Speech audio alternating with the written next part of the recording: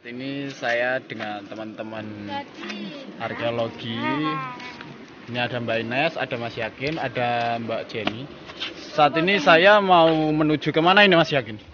Eh, petilasan di Selogiri. Iya.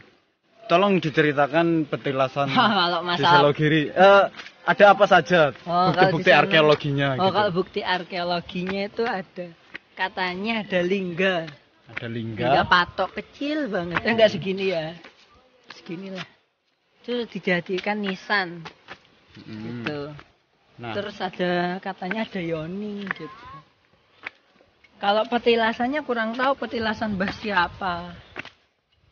Oke, bagaimana eh, peninggalan arkeologinya? Mak- Maka mari kita lihat langsung saja, oke?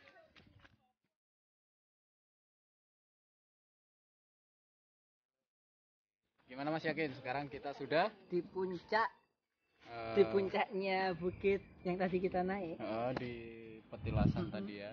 Jadi apa saja Mas Yakin yang sudah ditemukan tadi Mas? Hmm, kita setelah di puncakan ini ada petilasannya itu petilasannya. Itu di belakang. Ada satu makam di atas seperti disakralkan gitu kan. Kalau mau naik ke sana itu harus melalui tangga, tangga. Tangganya Tangga itu. yang tersusun dari bata-bata besar banget. Bata macan putih kalah besarnya. Kita lihat Mas Yakin batanya seperti apa. Nanti dijelaskan. Ada bata, nah ini batanya ini besar banget nih. Ini sekitaran ukurannya 40 kali 20-an tadi tuh, rata-rata. Nah, terus saya naik-naik ke atas. Nah, ini harus lewat tangga. Ini, disusun. Tapi yang yang membuat kita kami bertanya-tanya kok ada bata di atas bukit yang ukurannya besar-besar.